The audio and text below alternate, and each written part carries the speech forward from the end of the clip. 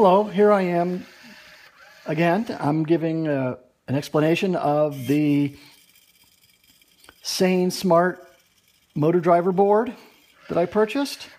Um, the version I purchased is right here, the L293D motor drive shield uh, for the Uno Rev 3, and as you can see, only eight bucks. That's a good deal.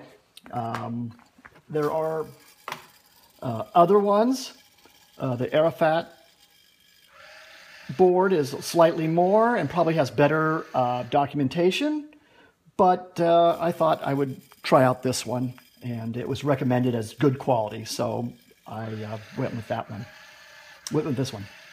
So what we have here is a motor drive shield that will control four motors, two DC, uh, a stepper motor, and a servo motor. Um, it has separate input. Each motor, there's one, two, th- uh, three, four. and uh, uh, it just connects right on top of your Arduino Uno. Um, it does drive the, the three motors quite well, or it'll even drive, I believe, uh, four DC motors, which I have not uh, had hooked up yet, but um, we'll do shortly. Um, there are some things you need to get. Um, for instance, in order to get this board to work, you have to have these two library add-ons that I got from Adafruit.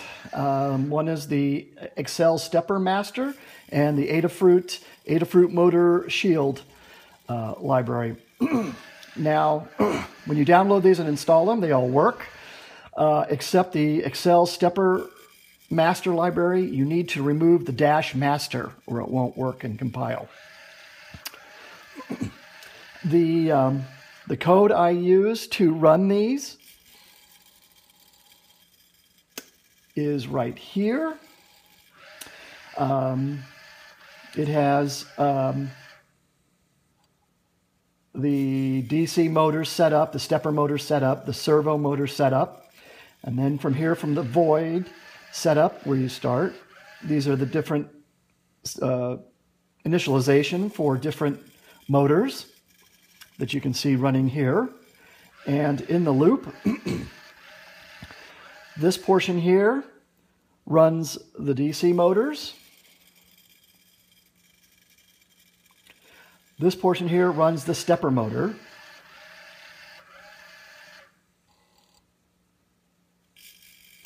And then the servo motor is right here.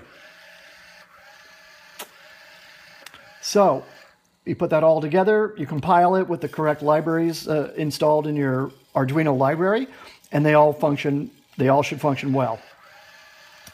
Um, there, since you cannot get to the pins on underneath the board because underneath the motor drive board because all the pins are used, um, you can. uh, whoops, that's the wrong one. You can get a wing shield, which looks like this. Uh, fundamentally, you plug a left side and the right side in first, and then you plug the motor shield on top into these female prongs, or uh, female uh, plugs.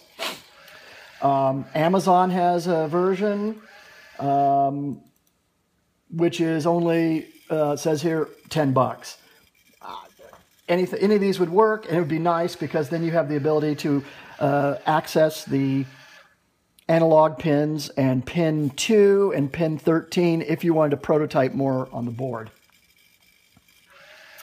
Other than that, um, I uh, found a glitch with the um, Adafruit documentation for this board. It says that pin 9 is servo motor 1, and in actuality, pin 10 is servo 1, pin 9 is servo 2.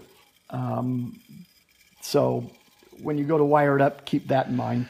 Also, when I first wired up, I wasn't the assumption that you had to uh, use the ground on each side, but you don't.